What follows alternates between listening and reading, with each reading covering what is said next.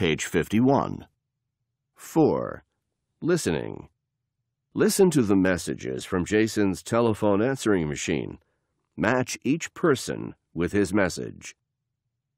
1. Jim. Jason, this is Jim. I've already bought some refreshments. Will you buy a few snacks and bring them tomorrow? Thanks. 2. Andy. Hi, Jason. This is Andy. Can you pick me up at my house at 8 o'clock tomorrow morning? My address is 27 Park Drive. It's easy to find. Just go south on Main Street.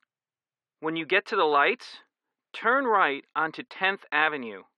Park Drive is the second street on the left. Mine's the blue house on the right hand side. You can't miss it. 3. John. Jason, this is John. I can't find my volleyball net. Could you please ask your brother to lend us his? Could you bring it with you tomorrow? 4. Charles.